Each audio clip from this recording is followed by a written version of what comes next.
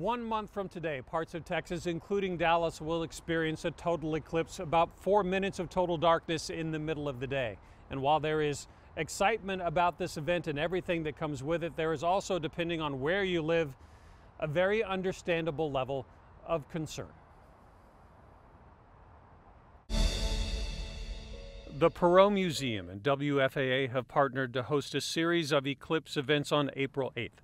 Since Dallas is the largest metro area in totality in Texas, some estimates suggest there could be a 35% increase in hotel bookings on that day alone. Airlines like Southwest and JSX even offering flights in the path of the eclipse. Astronomers from around the world will be here to watch the four minute, once in a lifetime event. It's very hard to describe. It's almost like a religious experience. It's, it's just, uh, it, it's very powerful. People are going to be very uh, excited. It'll be one of the highlights of their life, I think, in many cases. But smaller Texas cities are a bit more cautious in their praise. Bell County in central Texas, for example, issuing an April 8th disaster declaration because eclipse tourists could double the county population that day. We'll take a closer look at the excitement and the concern tonight at 6. In Dallas, I'm Kevin Reese.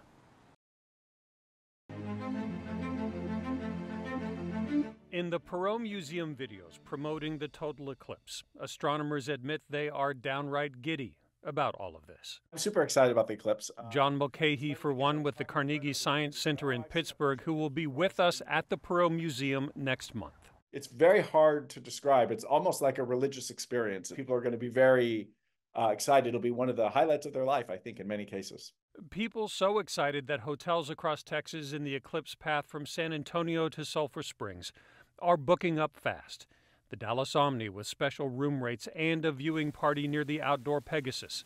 Airlines like Southwest and JSX offering flights directly in the totality path. It is a once in a, every 200 year phenomena. The CEO of Visit Dallas says they used a previous event in Nashville as an estimate. And in doing that, we have been able to determine that we are expecting about a 35% increase in overnight visitation compared to previous years on a typical Monday in April. But in all this excitement, there is also concern. Bell County in Central Texas issuing an April 8th disaster declaration because they're expecting the population to double. Schools in Kaufman County declaring a school holiday for that same reason. Kaufman County predicting 200,000 extra eclipse tourists that day and all the traffic headaches that come with them. But as the Perot clock counts down, astronomers say get ready. The next one won't be till 2317, so that's quite a long time uh, to wait. So whether excited or concerned, this is your only Texas chance. In Dallas, I'm Kevin Reese. It's nice being downtown. Downtown Ennis is small. We're all just friendly. Yet endearing, if you don't believe that. Somebody will walk in and they're like, oh, we're new to Ennis. Come see Amy Sims and Amanda Tyner. And we get to tell them about the town. Their boutique shops are right next to the other. And a lot of people will April 8th. Ennis expecting anywhere between 50 we really don't know what to expect. And 200,000 folks for the total solar eclipse and with open arms. Shop owners, they are definitely ready, but small towns like Ennis and Ellis County that are in the path of totality, their population is going to double, even triple within days, bringing the question, is critical infrastructure up to the task, like police, fire, and emergency services? Our emergency management staff is working with our sheriff's department Ellis County Judge Todd Little says preparations have been in the works for weeks. He and county commissioners are considering a disaster declaration to better mobilize local funds and resources. We've got 970 square miles here in Ellis County. People are very spread out here. Ellis County's vast open space does come in handy, but traffic still a concern to Little, especially getting emergency vehicles where they need to go. There will be issues medically that come up if we have 100,000 new people in Ellis County, we got to have the ambulance service ready to go. The county working with DPS2 and a declaration decision may come closer to the event when the forecast is clearer. A cloudy or rainy day will ruin this massive viewing party and might send folks elsewhere in Texas. Delkus, you know, I follow that guy all the time. I hope Delkus is on point for this one. I mean, we're excited. Yeah. We're ready. For Sims and Tyner, the eclipse likely means a ton of profit It's gonna be fun. Yeah, girl, I'll Okay, see you girl, later. see that they and others hope to share side by side. In Ennis, I'm Matt Howerton. Wyoming, Texas. You can argue both are similar, wide open spaces and sort of a cowboy attitude. but we'll have much more in common come April 8th when the next total solar eclipse passes through here. The last in the U.S., Wyoming in 2017. We had visitors coming from all over the globe.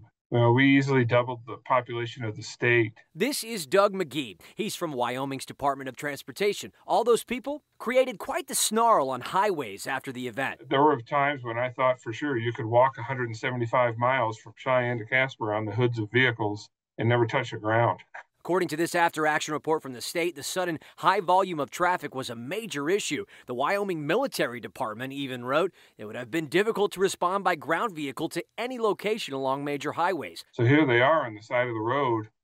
Uh, nature's calling. McGee even said a lot of travelers were seen using the restroom on the side of the road because traffic wait times were so bad. Now, if you've ever sat in rush hour traffic in the Metroplex, you're probably looking at these images and laughing a bit. And yes, Texas is a bigger state than Wyoming. Our transportation infrastructure more elaborate. But for smaller highways in rural areas like Ellis County, where the totality is going to be the best and there's going to be a lot of visitors from out of state, they may very well see some of these problems. We really should have thought of how could we release all that pressure. McGee has actually spoken with TxDOT-DPS and local law enforcement here about what to expect. This congestion no longer his problem, but it could soon be ours. It's four minutes, years in the making. On April 8th, a total solar eclipse will cover North Texas in darkness. But if you're not careful, it could leave you in the dark. Looking at the solar eclipse, you can do damage in as short a time as 60 to 100 seconds. The real problem is, is that the retina doesn't have pain receptors, so you really don't know that you're doing damage at the time. Dr. Amanda Holscher showed me what to look for. Be sure your glasses comply with the ISO 12312 2 International Safety Standard and come from a reputable vendor to avoid counterfeits. They meet the requirements. You may be tempted to just grab a regular pair of sunglasses and then pop them on to watch the solar eclipse.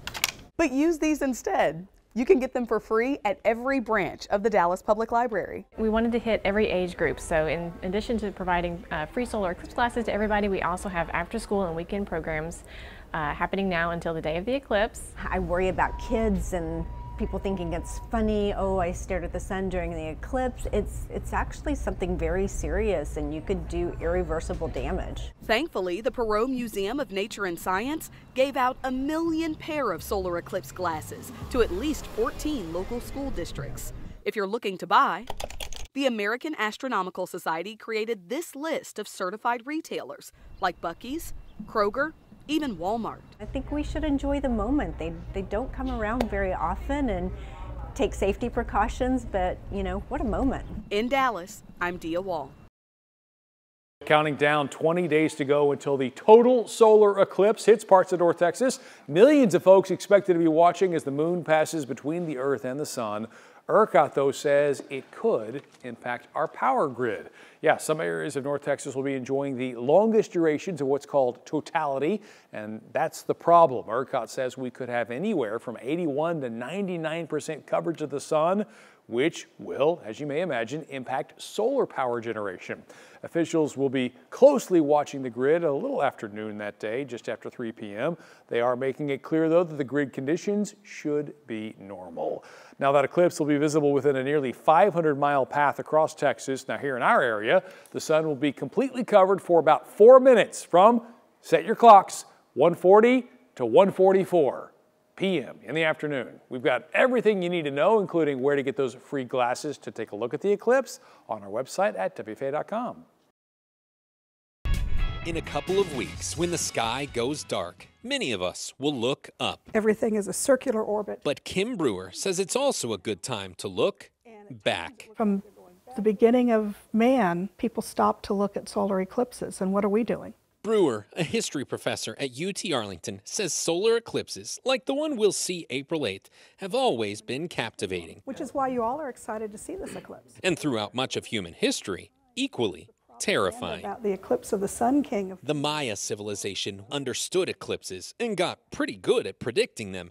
They still believed the sun's disappearance was no coincidence. They were thinking the sun god is angry with us. What have we done? What do we need to atone for whatever we're doing? Because next time maybe the sun won't come back. Where the Maya saw a god, other cultures, like the Chinese, saw dinner. Whether it's a celestial dragon or a wolf or a jaguar or something's eating the sun. Brewer's Medieval Technology and Scientific Thought class has been studying these nearly 300 year old charts, which document mankind's historical understanding of the cosmos. These charts. This is a book called Cosmography. And by, this book. Uh, this is a book from 1534. Are housed within the special collections at the UTA Library. You know, this page here is showing. Evan Spencer, who oversees the archives, says to celebrate April's solar eclipse, all of this and more will be on display and open to the public starting next week. A chance to see how our understanding of solar eclipses may have changed, but our obsession has not. We're still looking up at the stars trying to understand new things. It's our time, and we all better hope that the gods, the fates, the dragons take the clouds away for us. If they don't, forget history. All we'll have is a shady past. So they're looking at it for different reasons. In Arlington, I'm Sean Giggy. The latest prediction is that the total eclipse will bring at least a million more people to Texas. That's why counties like Ellis and Kaufman have made disaster declarations. Why TxDOT is banning wide load truck traffic that day, and why states that have been through this before are warning us too. Finally, we're seeing traffic volume numbers uh, in an hour that we would normally see over the course of 24 hours. Because people like Ingve Christensen and his girlfriend Mai Antonsen girlfriend, yes. are on their way. Well, thank you for doing this. Uh, tell me where you both are right now. They live in Honningsvåg, Norway, the Arctic Circle. They have the aurora borealis, but they've never seen a total eclipse. This is their chance to see one, and America, and Texas too. It's the leading country in the world, so it fascinates me on, on many levels. They want to see if Texas is what the world thinks it is. Well, I expect to see, for my part, a lot of cowboy hats, a lot of uh, SUVs with uh, one person only driving. And heavy eclipse traffic is a concern for them too. I'm starting to worry more and more about that. But their friends have asked them if they already live in Norway in total darkness several months a year. Yet you are coming here to get four more minutes of darkness. have you thought about it that way? That's true. And we are looking really forward to it looking forward to a once in a lifetime event. Just to be there together with a lot of other people with the same interest who like to to um, to witness the wonders of the universe. That's pretty neat, man. A celestial wonder worth the trip and worth the traffic, even for people who live a world away. I hope the trip is everything you want it to be. In Dallas. Oh, I think so. Thank you. I'm Kevin Reese. Um, this one over here. When you grow up in rural Ohio, they were just hard-working farmers. You get a different view of the world. That's our first child. Open skies and stars you can name. You see one, you will see them all. Laverne Beiser was hooked after witnessing his first solar eclipse in 1963. Now he's ready to see his 13th eclipse and at the age of 105. Not a puff of smoke, not a sip of liquor, not a drug of any kind, lots of chocolate milk. Lots of good.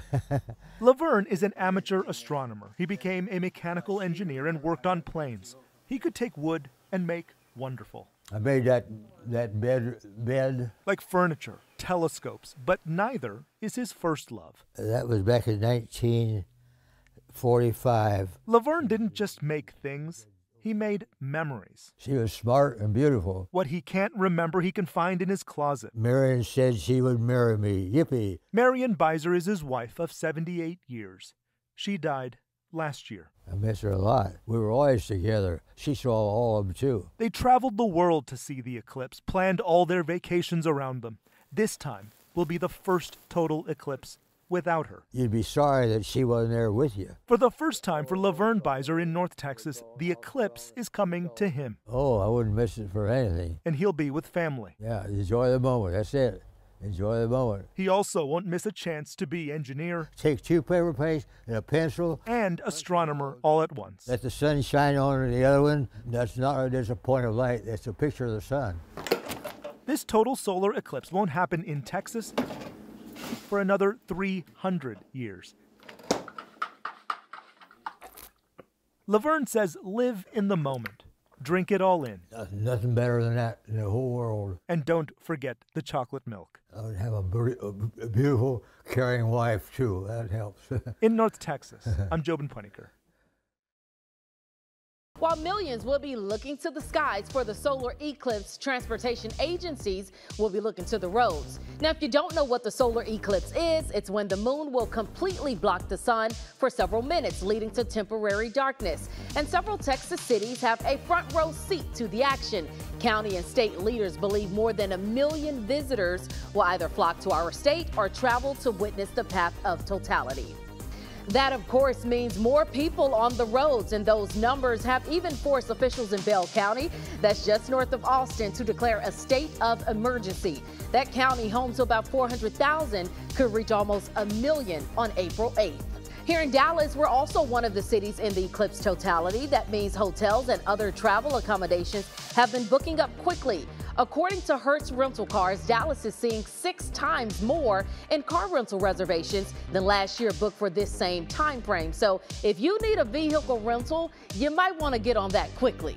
Now, because of the concern for crowded streets and roads, several school districts across North Texas are also closing on April 8th, mostly citing traffic concerns and congestion as their reason. Corsicana, Ennis, Kaufman, Waxahachie, and Red Oak ISDs, just to name a few, are closing.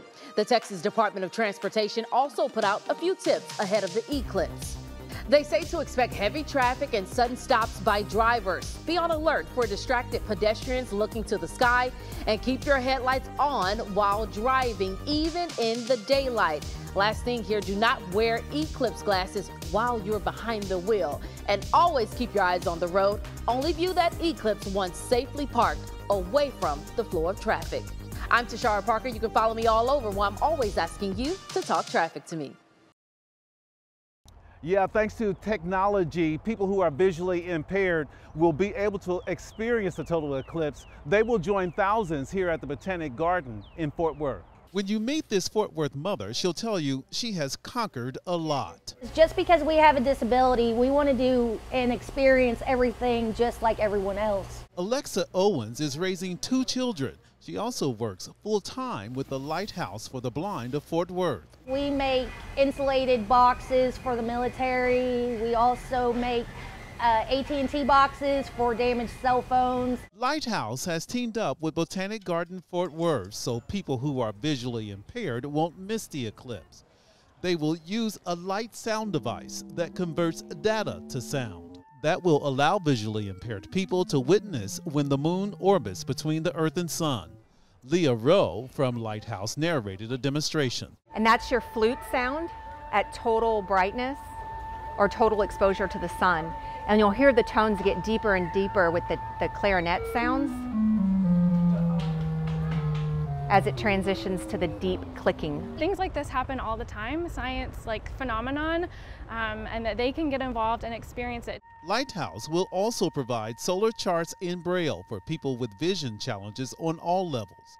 And now Alexa is excited about the solar phenomenon We can do everything just like you. and challenges others to make sure everyone is included in big events like the eclipse. In Fort Worth, I'm Scoop Jefferson.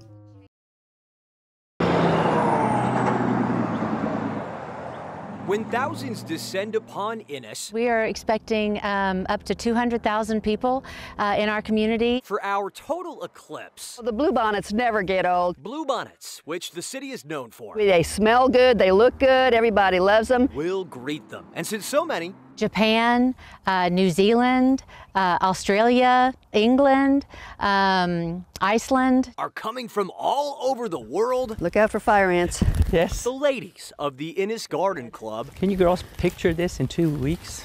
It'll be so It's beautiful. going to be amazing. have have a small favor to ask. We really want people to protect both their eyes and the bluebonnet flowers. The town's beloved bluebonnet trails The Ennis Garden Club started the Bluebonnet Trails in 1951. will be held in the days leading up to and after the eclipse. They do have a spirit, and it's just a beautiful portrait. Aside from staring into the sun, looking at fields like this will easily be Ennis's second best thing to do for visitors. But the garden club asks you not to pick them or Kind of step around them. trample them. If you put a blanket down, put it in an open area away from the bluebonnets. And here's why. Here's an example of a Bluebonnet seed pods have to endure the coming weeks. By June, these seed pods will get about two inches long, brown. They'll open up, their seeds will fall on the ground, and then they'll be ready to germinate in the fall. Thousands of people step on these beauties or break their stems.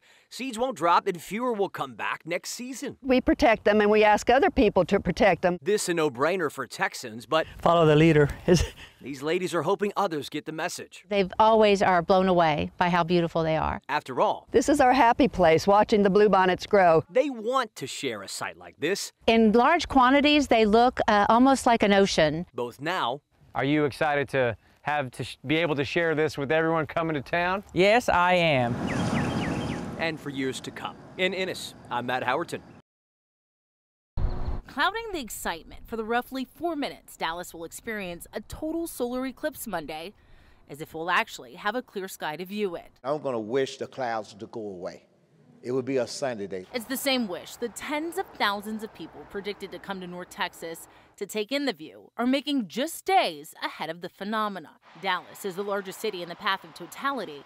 And Tuesday, despite the dreary forecast, city leaders laid out how they're preparing for the things they can control. Traffic is going to be the biggest challenge that day. Office of Emergency Management Director Travis Houston says they've drafted a traffic management plan focused on keeping emergency routes open and maintaining access to hospitals and highways. The day of, we're activating the Emergency Operations Center. We'll have representatives from all of those departments and agencies in the room with us so that as things come up and as we see how the day's progressing, we can have those face to face conversations and switch focus and close resource gaps. Trash pickup in Dallas has been suspended for Monday to keep those workers off the roadways.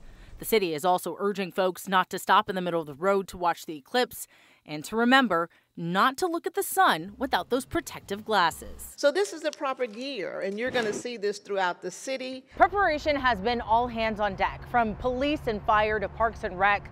Estimates on just how many people are coming to Dallas for the eclipse are still up in the air, but for context, about 99% of all hotels here in downtown Dallas are sold out from April 5th through the 9th. We have a lot of people coming both from out of town, but also just within the Metroplex. There's a lot of people coming, several very big events. And hundreds of eclipse celebrations planned throughout Dallas and North Texas. And now all we need is the weather to cooperate. In Dallas, I'm Janelle Fort. Folks are coming from all over the country, the world, Going to the observatory. to see our total eclipse. It was built in 72, 73. Dr. Bill Kinsey in Ennis Yeah. just has to walk to his backyard. Okay. It's where an observatory he built with his son has stood for 50 years. Power, so. Kinsey If we were looking at the moon, has also stood here for decades. you're talking about uh, 300 miles with this big one watching Venus, Jupiter, Mercury, Mars. the planets. He was 10 years old. We bought a Sears $39 telescope. A passion built when his son Scott asked for something to see the stars with in 1966. When I tuned it, tuned up the, the moon, and it, I was captured. You can imagine this 88 year old's excitement for Monday. I've seen three, two or three partial eclipses, but I've never seen a total. I'm hoping for a sky like today. Yet someone important I think a lot about him. will be missing. Kinsey's son Scott, the little boy who sparked a love for the stars in his dad, passed suddenly months ago at the age of 63. Do you wish he was going to be here on Monday? Oh, I do. I do. Yet, in some ways, I'll open the observatory, uh, tune in the sun. they both have a front row seat. I'm just going to enjoy it. Yeah, yeah. North Texas is preparing for a once in a lifetime experience. Oh, I'm ecstatic. Um, I teach fourth grade during the day, and I've been talking to my students about this for months now and kind of been building the anticipation. Close to half a million visitors are expected to travel to DFW to witness an astronomical phenomenon. Jesper Busk and his son Storm came all the way from Denmark to Dallas, the largest metropolitan area in the path of totality. It will be their first time witnessing a total solar eclipse.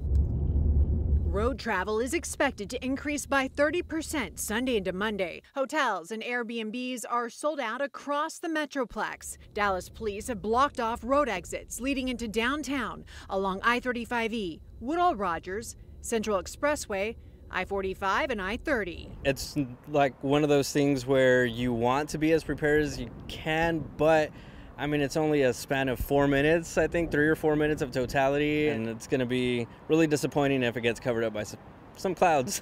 it's a weather situation that could affect the path of totality across the Lone Star State, an area that encompasses the entire I 35 corridor from Travis to Collin counties. Things don't really seem to clear up until you reach northeast Arkansas.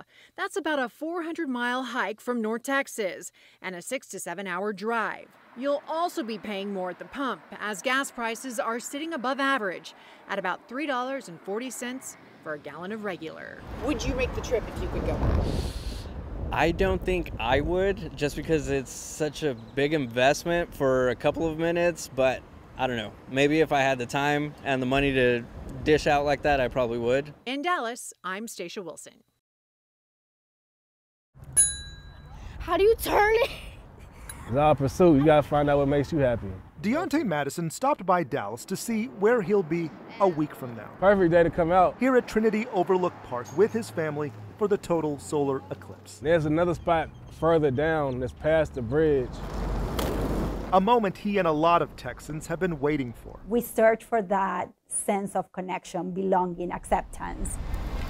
Carolina Pena is a mental health counselor here at Parkland. Have a seat, please. And what she's describing can be captured in two not so easy to say words collective effortness. Effervescence. It's a. I've been trying to avoid it. Collective effervescence, the energy and harmony derived from a shared experience. Feeling supported, not feeling lonely, feeling that you belong. Like what the Rangers winning the World Series did for so many. The eclipse is that kind of moment that can help someone in a dark space. It's something that you can experience with your kids that you know that you might not ever be able to see again. Like, how do you not look forward to it? Tell me a little bit more about those plans. Carolina says we are wired to be social. Our physical health yeah. is connected to our mental health. And while the eclipse can be a sense of anxiety for some, it can also be the social trigger that creates positive social momentum. People that live longer are those who have a support system. You are enough. Deontay knows how important that is. It's a pursuit of happiness. We're all looking for it. We're all searching for it. Carolina reminds us all when the eclipse happens, clear skies or not, practice mindfulness. Stay in the moment. The rewards go beyond the day. You get through the day, through that day, get through the week, get through that month, get through the year. In Dallas, I'm Jobin Panicker. I'm starting to worry more and more. And with their about worries that, about uh, Texas traffic and whether the skies will be clear. Right now, Ingva Christensen and Maya Antonsen are on the final leg of their flight to Dallas, all the way from their home in Norway. And they're not alone. We have folks coming from Japan and Tasmania, 11 European countries. That's in Hillsboro, Texas, between Dallas and Waco. But 1 million Texas tourists are showing evidence they are already on the move. This is the governor of New Hampshire. I got a call from someone from Texas yesterday saying that they were going to fly into Boston, and should they come to New Hampshire or Burlington, Vermont, or Maine to, to see it, would shock me. And evidence from Airbnb, where listings are nearly 90% booked for the night before the eclipse, and 25% of all reservations in the U.S. on Airbnb are in the path of totality. I'm addicted to that feeling of that being one with the universe and being really present and feeling it. Letitia Ferrer will have to decide if she's traveling too. I want to see every solar eclipse on the face of the planet. She lives in Farmers Branch, but she's traveled the world and this will be her 21st total solar eclipse. My life is measured in eclipses. TxDOT, meanwhile, will be measuring traffic. 480 miles of Texas are in the path of totality, so they're halting road construction for the day and warning people not to stop on the sides of highways. And in their own public service announcement, where a cowboy lassos the moon and pulls it into a total eclipse, they end with the simplest and most important advice Be safe, y'all, wherever your eclipse journey and the Texas weather forecast might take you. In Dallas, I'm Kevin Reese. Eclipse Rush is here on North Texas highways and at both airports. As tens of thousands of people make their way to the Metroplex, despite Monday's forecast. It's going to be cloudy, so we were thinking about, or we thought about uh, going to Vermont, and some people had said that if they wanted to switch flights and switch their car rental, it'd be like $8,000 to change everything. A price tag too high for Dan Botnick and his friends who flew in from Boston. We've been budgeting. this this is actually uh, this hat is a, you need a budget hat. So it's been two years of putting money aside to make sure we could pay for everything. There's no tally yet on just how many people are coming to North Texas this weekend, but we do know hotels are reaching capacity.